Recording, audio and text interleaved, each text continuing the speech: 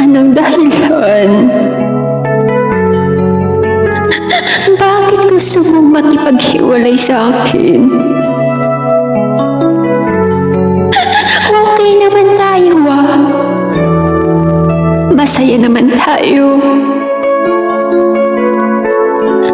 Pero bakit ganun lang kadali sa iyo na makipaghiwalay?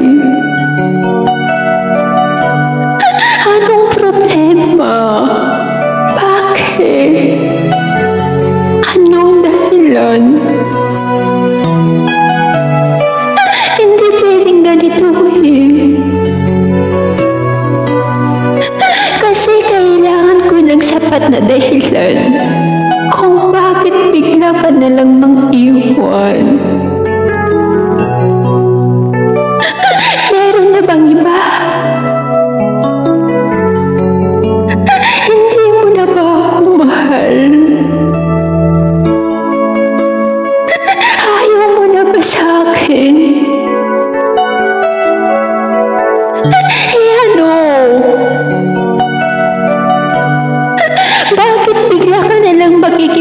Makikipaghiwalay sa akin? Mahal naman kita eh. Ginawa ko naman lahat. Binigay ko naman lahat para sa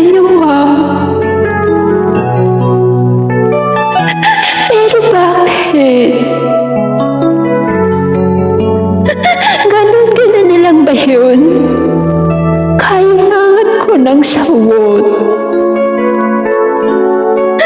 Kailangan ko ng sapat na dahilan.